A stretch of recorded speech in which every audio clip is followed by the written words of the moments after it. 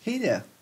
Today's physics game that I play is the energy types quiz where I will have to separate the kinetic energy and the potential energy on the two sides. So this exercise is only for these two type of energies where they are the actually the main type of energies. And so I have the objects here at the top. Uh, all right, 20 tries for good mark, so I must not uh, move the objects a lot. So what I take, I have to place it, right? So the first thing, first object is uh, falling asteroid. What type of energy the falling asteroid represents? And because it is moving, it should be a kinetic, with the kinetic energy. In general, uh, I, I can remember it this way, if the object is moving, uh, it should have the kinetic energy. If it, it is in if it is not moving, it's in a relaxing, relaxing state, that should be, and it may be used for moving, that should be potential energy. And so the next one is the explosives. Now, the explosives are not moving, but they hold a lot bunch of potential uh, energy, so they should be just potential energy. The battery, it holds the energy inside it, but it is not moving, so it should be potential energy too. Uh, now, the sun.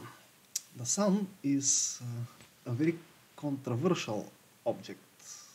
Uh, while I was exploring uh, the internet for this topic, I found the sun uh, is given either like kinetic energy or potential energy. But in general, I want to place it uh, in the potential and it will appear on the both sides. so this actually is a quiz. Uh, I mean, it doesn't take effect for the tries. Alright, the barrel of oil now, it is not moving, but we know oil can give liquids with that uh, moves other objects, so it is potential. Now the uppercut, this is in boxing, when this uppercut happens, it is definitely kinetic energy. The flying bullet also is maybe the most popular example of kinetic energy, of object with kinetic energy. Now, uh, here we have two apples. One is the apple on a tree. Now, it is in a relaxing state, so it is not moving, but it has the potential to fall, right? So it is potential energy.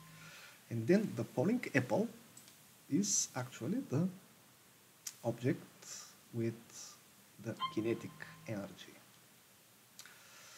Alright, the moving car, it's easy, kinetic, Now, now let's see the stretched bow. So the stretched bow is just stretched, so the arrow is not flying, and it has potential to launch the arrow, so it is potential energy. The coal is also potential energy until it is on fire. now the erupting, erupting volcano uh, should be kinetic uh, energy but maybe before it is erupting, it is just potential.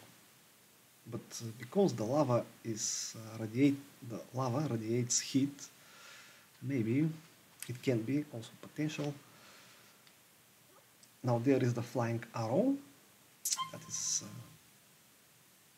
definitely kinetic energy. The foot, now the foot, well, I will place it in the potential energy section because that hamburger, hamburger will give me a lot of energy to click on my mouse today. Now the next one is the gunpowder. Until it is uh, not lighted, it should stay in the potential energy section. The steam flow, it is uh, fast moving particles, so it is kinetic energy.